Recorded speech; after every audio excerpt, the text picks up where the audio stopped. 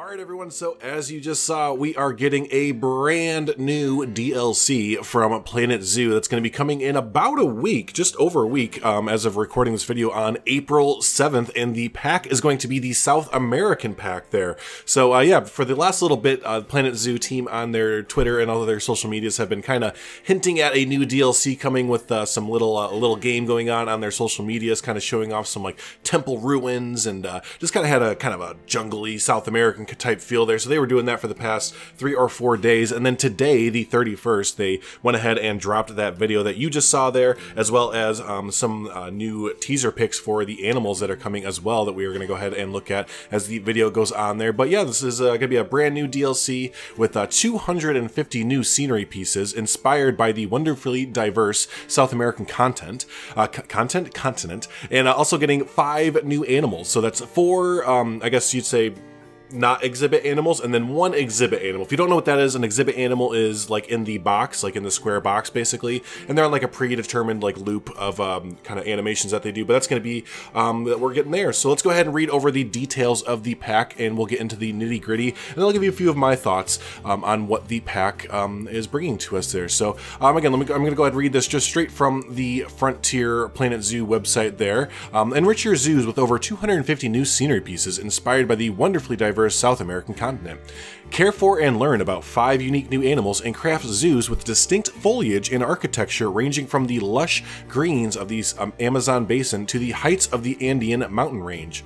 Uh, take a walk on the wild side. Welcome five iconic new animals from the South American region to your zoos. The jaguar, my favorite, llama, capuchin monkey, giant anteater, and the red-eyed tree frog. So the red-eyed tree frog is going to be your exhibit animals. The other four before it, the jaguar, llama, capuchin monkey, and giant anteater are your regular animals that you can just place um, anywhere in your zoo kind of thing. Uh, each of these animals will come with their own set of needs and habitat requirements, and it will be up to you to keep them healthy and happy in your parks.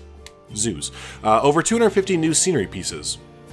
Create your own jungle adventure. Construct an Aztec temple park entrance, theme your habitats with treasures from civilizations past, or build your very own rainforest. There are over 250 new building, scenery, and foliage pieces to choose from and get inspired by. Uh, the South America pack will be available for purchase for, then it's kind of like the regular prices, I think it's uh, 7.99 euro. Uh, 10.99 uh, yeah so it's like your regular steam um, frontier prices there. So there you go. But yeah this is going to be a dlc so you will need the base game. They're just letting you know you'll need the base game to play this and it is going to be additional content that you will have to pay for there. So there's also going to be a free update coming with the game as well um, that was announced a few days ago. So um, there's gonna be a free update coming out with a bunch of management changes to the game. Um, some different um, animal behaviors are coming as well. Um, but there's a whole thing out um, for that as well. But that's gonna be coming coming out as well. So there's gonna be a free update, and there's gonna be this paid DLC update as well there. Um, but yeah, as I mentioned before, there's uh, they also released a bunch of pictures, um, kind of showing off the animals and some of the scenery as well. So going through that, our first one we have here is a picture of the jaguar, and I think between this and possibly the llama, because I mean, come on, llamas are amazing. Um, this might be my favorite animal coming into the game. Now, I do know that we've kind of technically ish have had the Jaguar in game for a little bit now, and that's um, thanks in part to the awesome modding community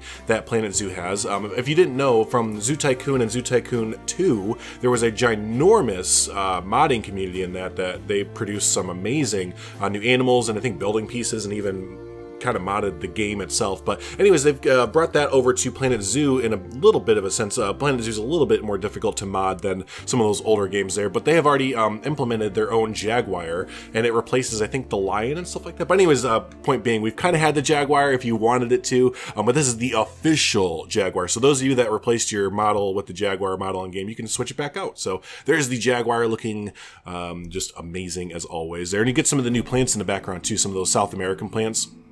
So uh, that's that's the other big thing um, from this pack is uh, I think the foliage is going to be another highlight, another star there. So um, this next one up here we, have the llama, which is going to probably be my third favorite um, animal from the pack. There uh, again, first is going to be the jaguar, but there they are standing ever so eloquently in uh, in the the mountaintops there. Where are they from? They're from uh, I know they're in South America, obviously, but I know they live in the mountaintops there. Is it Peru?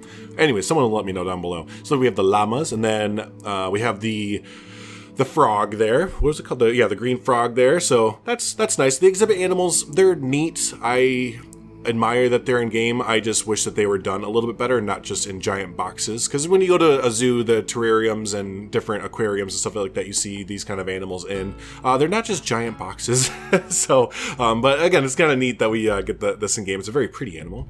and the last is going to be for the animals is going to be the capuchin monkey, which is my second favorite coming out of this. Uh, monkeys and primates in general are some of my favorite animals, but the capuchin monkey, I always relate this back to like the Indiana Jones movies, basically. So that's that's where my thinking comes of it. But yeah, these little cute guys, they're gonna be really really fun to see how their animations and um, uh, emotions and all that fun stuff are in the game to see how they uh, see how they act there. So there are the animals, and then we have one. Oh, I'm I, how could I forget? What a boob!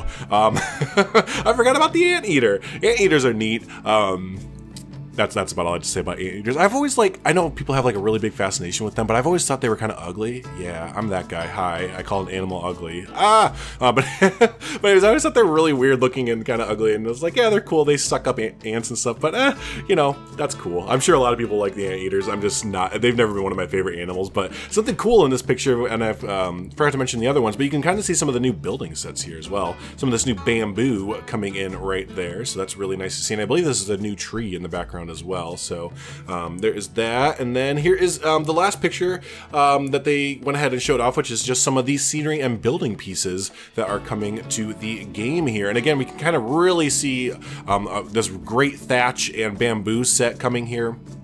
Um, we even have some, looks like some new statues or, uh, yeah, some new anteater statues in the bottom right-hand corner. I want to say that those trunks of the tree here, of the palm tree looking trunks, I think those are new. I think, I think. Um, but yeah, there you go. So there's a lot to take in from this picture alone. There's some of the uh, butterflies up top there butterfly. I want real butterflies in the game, but um, anyways, yeah. So there's a lot to take in there with the new scenery there. So there is all of that. There's what's coming to the um, the new pack as well. Just again a quick rundown. You know, I got the 250 new um, building pieces, five new animals, four of which are uh, roaming animals, one of which is an as uh, an exhibit animal. And again, all this is coming on April 7th, so about a week away from recording uh, this video there. So there is all that. So my thoughts. What do I think? Am I excited? Am I what? What am I thinking? about this uh, DLC. So my first reaction without playing it at all is I'm disappointed. I am a little bit disappointed. I'm excited for new building pieces. I always am as a creative builder and stuff, but the lack of animals is what's really um, putting me off to this pack, to be honest with you. And I'm not alone. I, I went ahead and I, I, I, talk a lot with people in uh, on the Bro Nation Discord. Um, I had a, a, few private messages with other content creators and stuff. And the common consensus is is kind of like, yeah, this looks nice. The pieces are going to be great. The animals look great as always. That's always you know Frontier never skimps out on stuff that they release usually. Um, so everything looks great. It's going to sound great. It's going to you know the pieces are awesome. But it's just we're felt with a lack of with a sense of, eh is that it? Like, yeah, all right. I even said in the last one we got the Arctic pack that we got four animals in one building, so I think like 250 building pieces or maybe less. And, it, and I said then it felt like in Planet Coaster we had mini packs, which were like Knight Rider packs, Monster packs, and these were smaller packs that were like I think they were five bucks, five or six dollars, because they didn't give as much content. And these packs almost feel like that. And I don't want to say that like too harshly because it's I don't want to put down anyone at Frontier or you know any of the artists or anything like that. But it's just the, the amount of content in the packs that we've gotten so far for Planet Zoo feel really low. It just feels like a mini pack from Planet Coaster. And um, in the Arctic pack, we got four animals. In this one, we're getting five animals. So it just, it, a lot of us wish that they would just focus more on the animal part of the zoo game rather than giving us an ancient temple building set.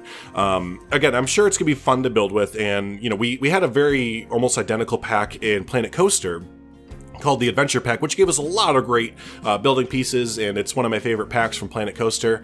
Um, and maybe that's part of it too for Planet Zoo. Is just that I feel like we're doing the same stuff with Planet Zoo that we did with Planet Coaster, but we're just not getting amount the same amount of meat and potatoes as we are with Planet Coaster. So we again, we got the Adventure Pack with Planet Coaster. Now we're getting the uh, South American pack, which is basically the adventure pack for um, Planet Zoo, but it doesn't feel like we have the punch coming with it with the animals. It just feels like I wish they would focus more on giving us like 10 new animals, um, and then, you know, maybe one new building set, and uh, that, sure, and a free update alongside it that does some bug fixes and, um, you know, what they normally do. But I don't know, it just feels like for a zoo game that, while again, the building sets are nice to have with it, um, A, it just feels like we should be focusing more on the animals for a zoo game, and B, with those building sets now, we have Arctic set and the South American set, I wish that the sets would, and this is just a personal thing for me because that's my building style, but I wish the sets would focus more on what an actual zoo looks like, you know? Um, I know that they have themed up habitats and themed up exhibits that are like dressed up like temples and you know they, they there's some themes in zoos and stuff but I feel like right now the game is just missing a core aspect of it which is making a zoo. We don't have I feel like enough building pieces or animals or whatever have you. I'd like to hear from your um, comments down below. I know some people just felt have said that they felt the game feels stale, and I feel like this isn't going to fully help that. Um, I still feel like it's going to be a nice little pop um, seeing the new stuff and the new animals, but then it's going to fall immediately back to being stale just because we don't have zoo things. You know, we don't have enough to make a full fledged bam, zoo. you know, I know I'm being very, just not very descriptive right now. I really would like to get a community discussion about this, but what do you think needs to come in the future to um, Planet Zoo and stuff like that to really make it feel like that zoo game, not like an animal builder with temple pieces um, game. But, you know, this is called Planet Zoo, right? It's a zoo game. So what do you think needs to happen to make this more of a zoo type game? And, um, and yeah, what do you think of the, uh, you know, overall that my rant is done there. So there, I got it off my chest. I just had to tell my community, everyone, how I was feeling there. So, uh, do you, uh, yeah, how do you feel? Do you agree with my sentiment that there should be more focus on um, more uh, quantity of animals and less building pieces. Are you fine with how it's been so far? Um, you know, I just I would really like to get everyone's opinion on what do you think. Um, you know, are you a new Planet Zoo player and what do you think? Are you a Planet Coaster player and you know what are you thinking? Like you know you're being my mindset kind of thing. But yeah, again, I just uh, after this little rant or ramble, I just, I'm really curious what everyone else's mindset is going into this DLC there. So, um, but yeah, let's go ahead and wrap up there. And uh, yeah, if you're not already, go ahead and subscribe to the channel, like the video, and all that fun stuff. There will be a lot more uh, Planet Zoo content coming out as we're doing our Brookfield Zoo recreation, and uh, once the DLC does come out, we'll definitely be doing some content and looking over the actual pack and doing a full and final judgment of it um, when it comes out there. So, hey, thanks so much everyone for hanging out. I always do appreciate it. And until the next video for Planet Zoo there, y'all have a good one. Thanks so much.